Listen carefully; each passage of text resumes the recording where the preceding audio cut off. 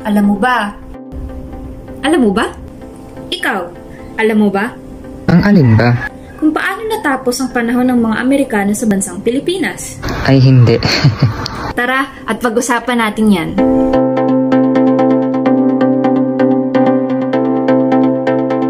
Oo nga no. Natilihin po natin buksan ang ating kaisipan. Patuloy po tayong makinig para sa mga bagong kaalam ko si Marites Alfonso at ito po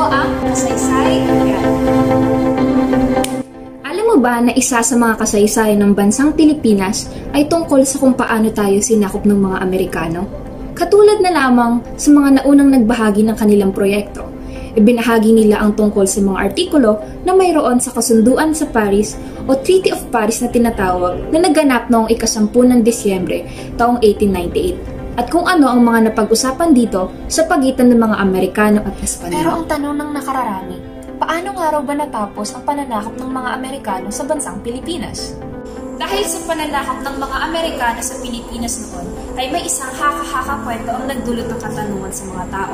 Makalipas ang ilang taon matapos sa ah, labanan ng Amerika at Pilipinas, ay may isang mamamayan na nanggaling sa New York ang nagpunta sa Puerto Rico upang mag-import ng prutas. At dito na nagsimula ang katanungan na kung ang Amerika ay sinakop ang Puerto Rico, Guam at Pilipinas, ang ibig sabihin ba neto ay Amerikano ang mga nakatira rito?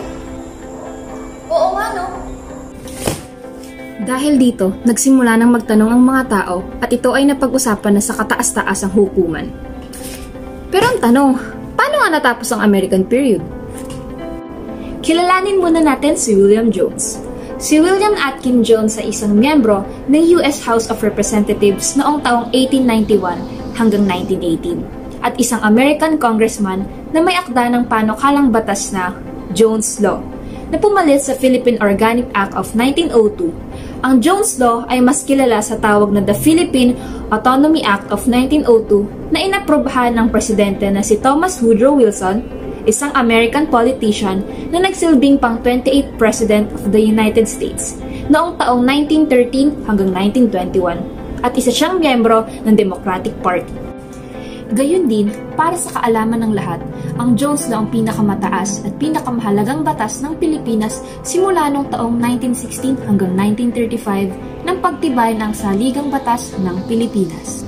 Ayon sa preamble ng Batas Jones, ay babawiin ng USA ang soberanya nito sa Pilipinas at kikilalanin ang kalayaan ng mga Pilipino makaraang magkaroon ang Pilipinas ng isang matatag na pamahalaan. Dahil dito, ang Jones Law ay pinagtibay ng 64th United States Congress noong Agosto 29 taong 1916. Ngayong napag-alaman na po natin ang isa sa mga daan o dahilan kung paano natapos ang panahon ng Amerika sa bansang Pilipinas, ay aalamin naman po natin kung paano nila tayo na-impluensya sa pamamagitan na isa pang video na ipapakita ng isa naming miyembro. Kaya panatilihin po natin buksan ang ating kaisipan at patuloy po tayong makinig para sa mga bagong kaalaman na nanggagaling po sa ating kasaysayan. Muli, ako po si Marites Alfonso at ito po ang Kasaysay Yan.